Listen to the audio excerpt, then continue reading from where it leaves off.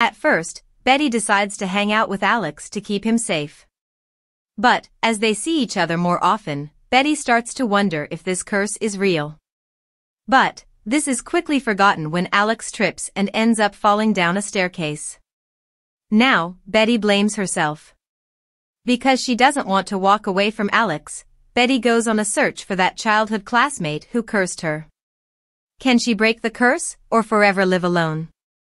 Or W. Are these disasters just random acts of recklessness? When is the premiere of Betty's Bad Luck in Love?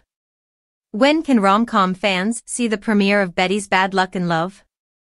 That date is Saturday, January 20th, at 8 p.m. Eastern, on the Hallmark Channel. In addition, this new rom-com will be available on Peacock up to 72 hours after the premiere title, Breaking a Love Curse in Hallmark's Betty's Bad Luck in Love. Once upon a time, in the picturesque town of Harmony Haven, there lived a young woman named Betty. Despite her radiant smile and warm heart, Betty found herself trapped in a cycle of unfortunate love stories, earning her the dubious title of Harmony Haven's love-cursed maiden. Her romantic misadventures had become the talk of the town, and no eligible bachelor dared to step into her life, fearing the rumored curse that loomed over her heart. Harmony Haven, with its cobblestone streets and charming cottages, was known for its enchanting atmosphere, making it the ideal setting for love to blossom. Yet, Betty's streak of bad luck seemed to defy the town's romantic reputation. She had endured a series of comical mishaps, from accidentally spilling coffee on potential suitors to tripping over her own feet during first dates. The townsfolk watched in sympathy and curiosity, wondering if there was truly a curse that plagued poor Betty.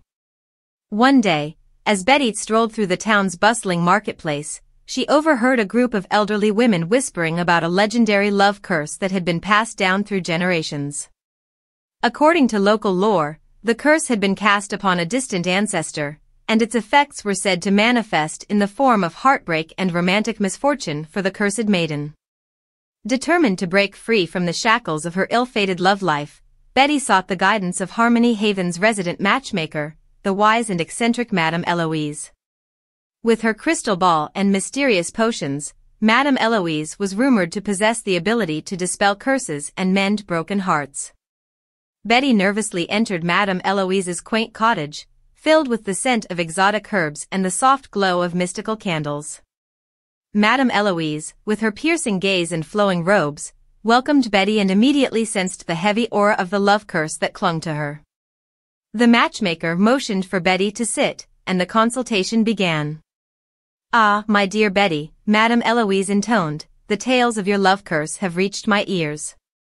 But fear not, for I sense a glimmer of hope within you. Breaking a curse requires courage, determination, and a sprinkle of magic. With a twirl of her fingers and the soft hum of an incantation, Madame Eloise revealed the origins of the curse that had haunted Betty's family for generations. It was a tale of unrequited love, betrayal, and a vow that bound the family to a fate of perpetual heartbreak. As Betty listened intently, she felt a surge of determination to rewrite her romantic destiny. Madame Eloise prescribed a series of unconventional remedies to break the curse, including a potion brewed from rare herbs found only in the hidden corners of Harmony Haven and a quest to uncover a long-lost family heirloom that held the key to unlocking the curse. Betty, fueled by newfound hope, embarked on her journey to break free from the chains of her romantic misfortune. The quest took Betty to the charming outskirts of Harmony Haven, where she encountered quirky characters and faced unexpected challenges. Along the way, she discovered the true meaning of love and forged unexpected alliances with unlikely companions.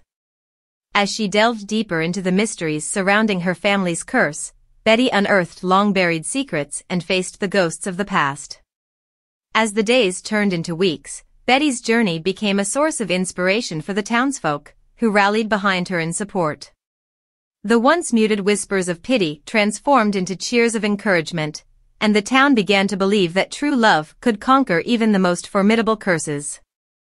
Betty's path led her to a hidden glade, where the elusive family heirloom was said to be concealed. With a sense of trepidation and excitement, she uncovered a dusty chest that held the key to her liberation. The heirloom, a locket passed down through generations, glowed with a radiant energy as Betty clasped it around her neck. It was a symbol of love and resilience, a talisman to break the curse that had plagued her family for so long. Returning to Madame Eloise's cottage, Betty presented the locket, and together they performed a ceremonial ritual to banish the love curse once and for all. As the incantations echoed through the room, a warm light enveloped Betty, lifting the heavy burden that had weighed on her heart for years. The curse was